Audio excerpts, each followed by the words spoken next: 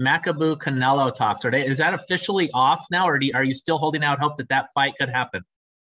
Well, you know, it can't happen before you give this guy named uh, Thabiso, uh, it, it was a Machuhu, you know, because don't be, you can't count the chickens before they hatch.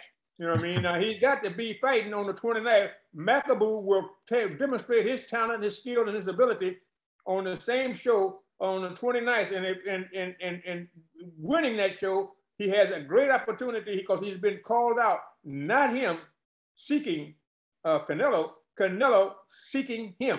So that makes it all, altogether different. And so now he wants to be able to demonstrate that he's going to stop Canelo, but he got to first get past uh, Mchukwu. You know what I mean? So therefore, that's what makes this card even more exciting, more provocative, and more beautiful. That's the co-main event